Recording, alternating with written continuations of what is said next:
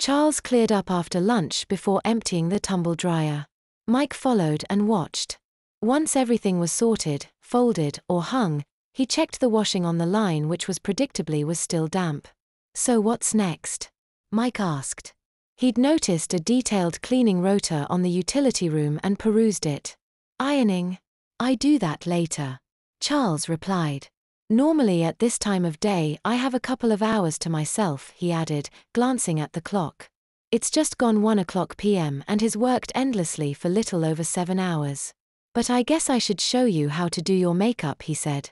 Yeah, not that I'm looking forward to it. Mike gulped.